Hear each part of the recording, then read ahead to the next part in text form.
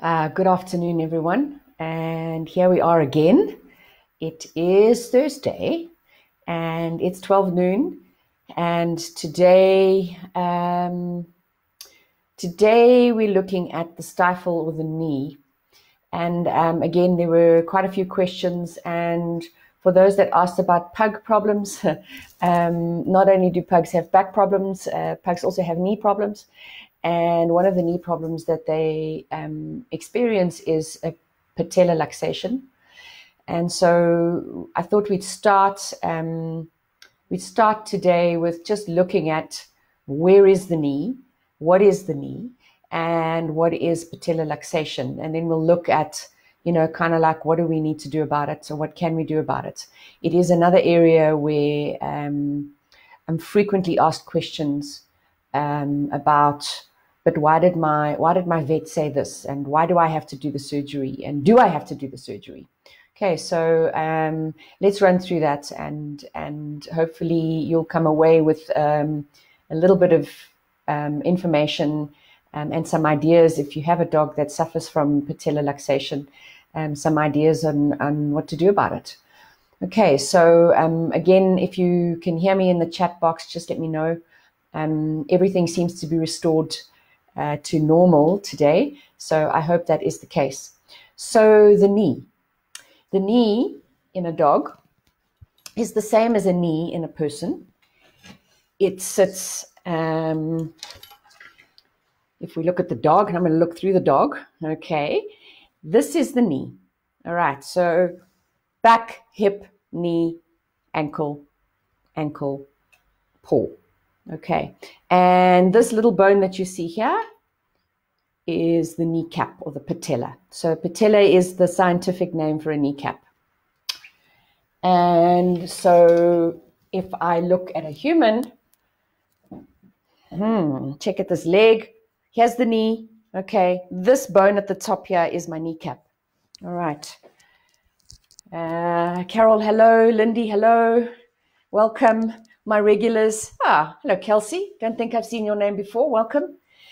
Um, and the knee lies between the femur, the thigh bone, and the shin bone. The shin has got two bones. The most important is which, um, hello, Jane and Natasha. Wow, how's it? Um, the most uh, important of those bones is the tibia, um, which is the large bone. And then on the outside, we have that little bone, which is called the fibula. So these make up the shin bones. This is the femur or the thigh bone. And in between, we have the joint, which is called the knee, and running over in a groove, running over the, um, there's a groove on the um, bottom end of the femur. The kneecap or the patella runs in that groove. Okay. And the only difference with people, people have the same um, the same structures. We have a femur, we have a tibia, we have a fibula, we have a patella. Um, the only difference is that we walk upright and dogs are quadrupeds. Okay. Ah, thank you, Shanti, for that um, for that feedback. Uh, so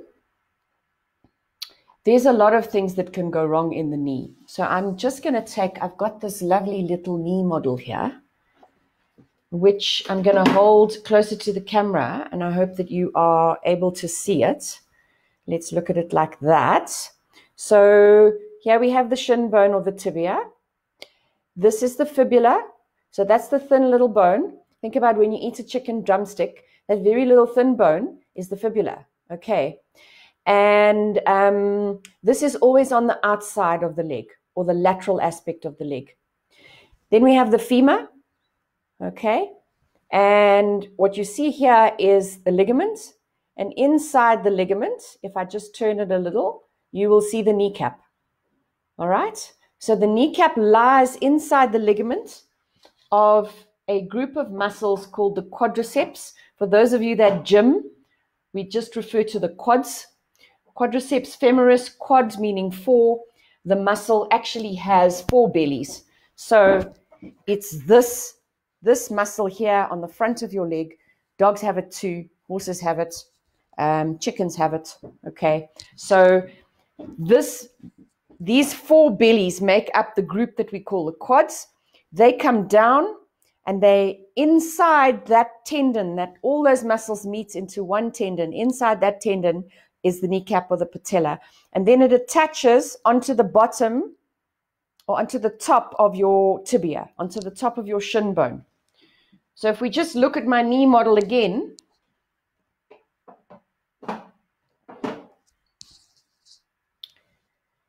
Now we're looking at it. Let me just put it in a place where you can see it. The quads are up here. Here's the four muscle bellies come into one ligament. There's the kneecap on the inside. It runs on a groove, a groove on the a groove on the femur. Okay? And it comes down and it attaches on the bottom of the tibia. Okay, the shin bone, the main shin bone. All right. What you see in here is joint and it's filled with fluid. And there's a fat pad in there. Okay. And as the bone moves, as these bones, so this is now without the kneecap. Okay. Just think about the knee bending. As the knee bends, okay, the fluid is pumped around. Remember when we spoke about arthritis? The fluid is pumped around the joint. And on top of the femur, here on the groove, we have a, kneecap. So the kneecap glides up and down there as the as the joint bends. All right. Um, hello, Yanni. Uh, and so it's really important for the functioning of the knee that that patella glides in the groove. So patella luxation, luxation is a fancy word for dislocation. Um, in other words, dis meaning poor location, poor location. A patella or a kneecap that is dislocated or luxated is not in the groove. Okay, it's very simple. It's not in the groove. Now, that can be to the inside of the leg or to the outside of the leg. Okay, so the patella can come out of the groove to the inside or to the outside. In most small breed dogs, it luxates medially, so it lux- it it dislocates to the inside. Hello, Jean, welcome back. Um, to the inside of the leg or the inside of the thigh, and um, there is a genetic predisposition, unfortunately, to medial patella luxations. Very common in lots of small dogs. Chihuahuas, Yorkshire Terriers, um, poodles, miniature and toy poodles, um, miniature pinschers, Jack Russell Terriers. Um, and what you typically see um, with a luxating patella, it doesn't always cause pain. But if you think about a Jack Russell, it often, when it runs, it often has a skip. So it runs, the one back leg comes up for about three steps, then it comes down again. And then sometimes maybe the other back leg might come up and the dog runs and then it comes down again. In a lot of those dogs, not all of them, they have a luxating patella. So as they as they bend and that patella pops out, in order for it to come back into place, they actually have to straighten the leg. And as they straighten the leg, the kneecap pops back in, and then the leg is back on the ground again. And vets will talk about a patella skip in the walk. Okay, so the dog does the dog skip, and that means that for one or two steps, that back leg comes up, and then the patella goes back into place, and then the dog carries on as normal. Okay. And I will post, I've got a little video that just shows you what that movement looks like.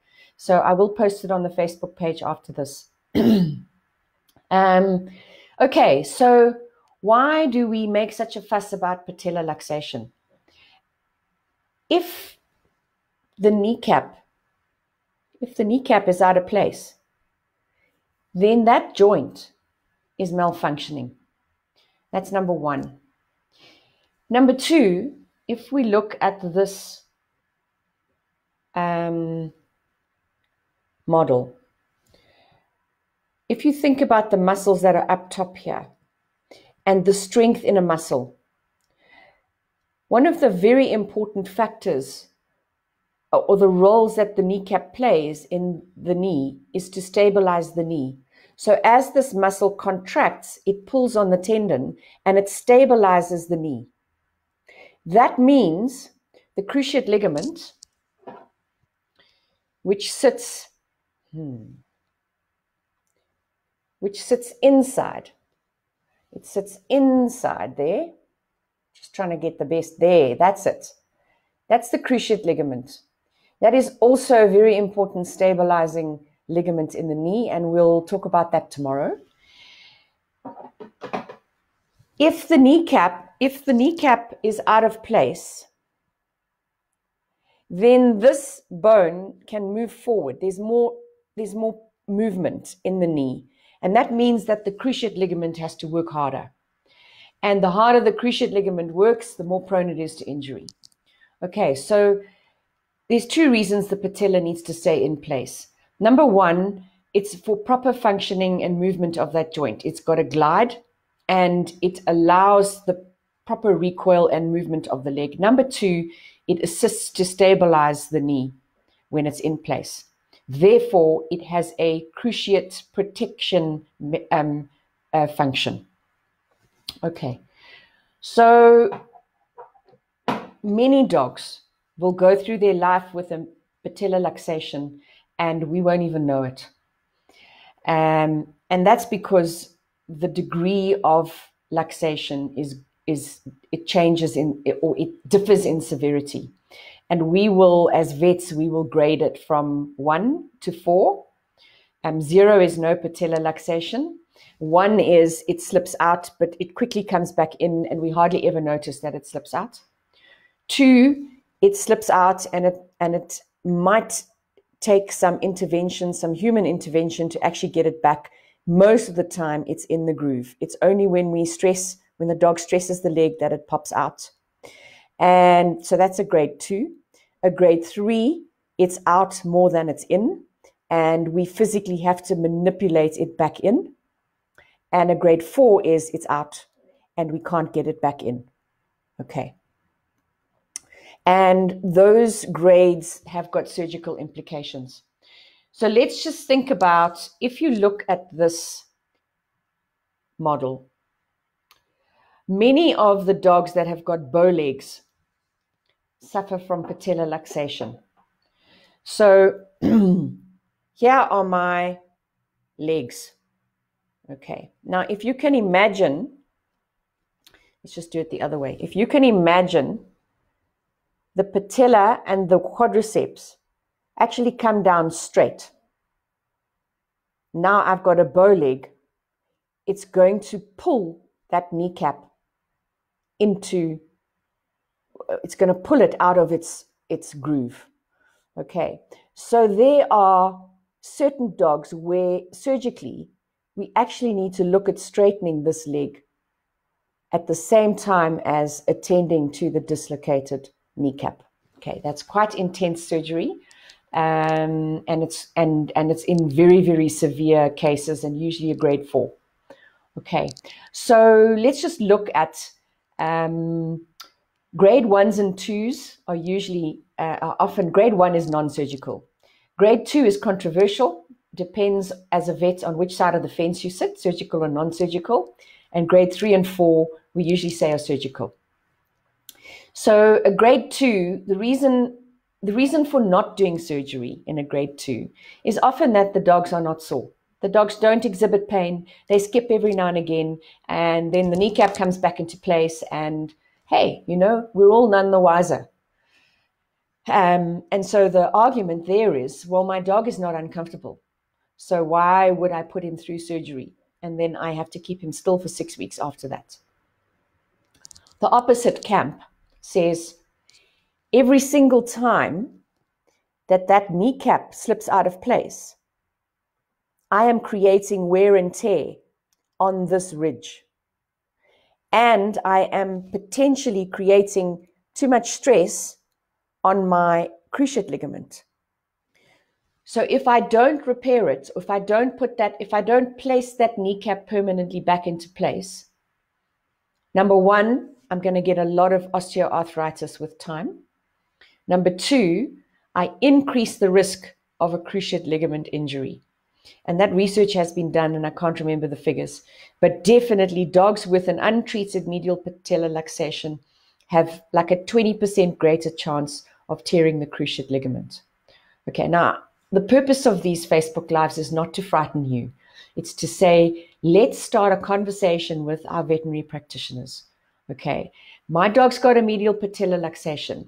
I'm going to do some research. I listened to Dr. Tanya, and this is what she said. And I've gone and read, and now I really want to know what's the best way forward for my dog. Okay, so I have some dogs which have um, grade three and grade four luxations that have never been treated surgically, but we have very, very diligent um, um, um, pet parents, and they come for um, for regular sessions at the hydro. And basically, that dog, some of those dogs we've managed for five or six years, and um, they don't even have um, pain meds.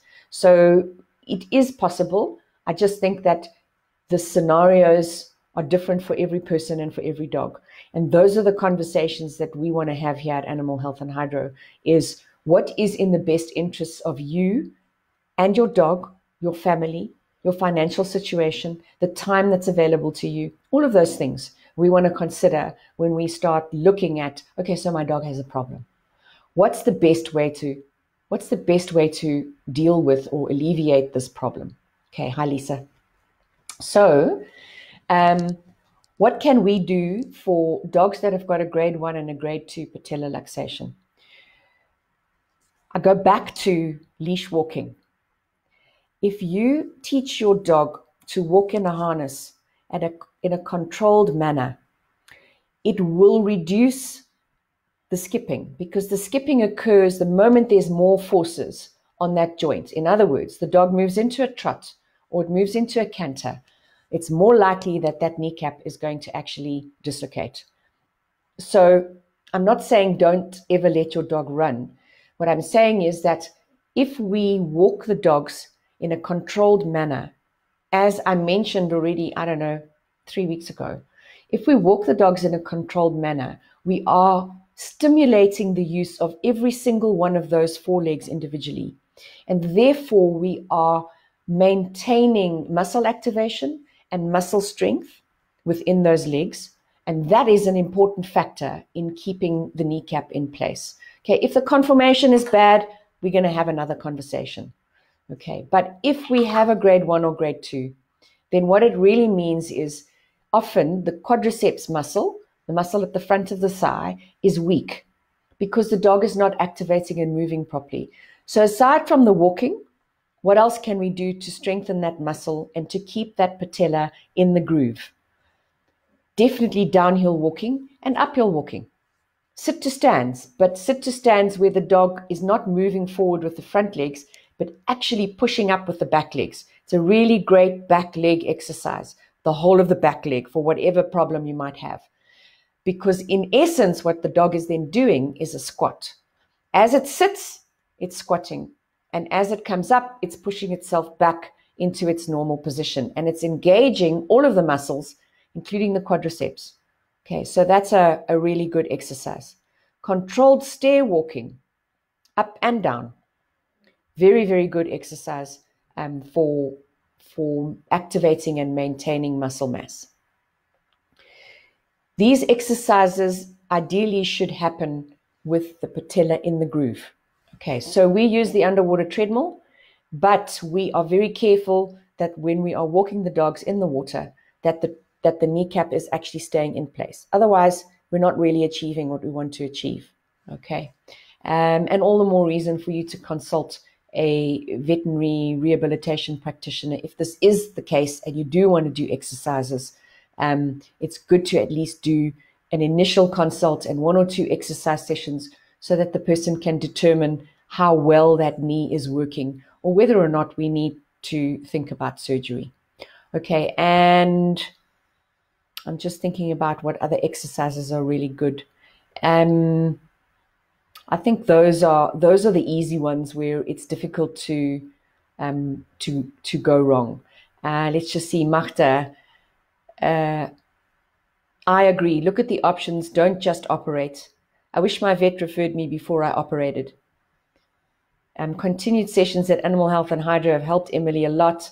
And at present, there's no need for an operation on her other knee. Thank you, Magda. That's a really, really nice um, paragraph. And and we have walked a long road already with Magda and Emily. And and it's delightful that we have a, a patient that um, that is doing so well. And um, Emily is a basset hound, and she's just gorgeous. And um, I would say that on my, um, I think it's on our on our YouTube page, we we did an interview with Magda, uh, in which she goes into her emotional distress around um, not being, not having the information um, when she made the decision for Emily to have the surgery. So Emily did have a, um, a luxating patella.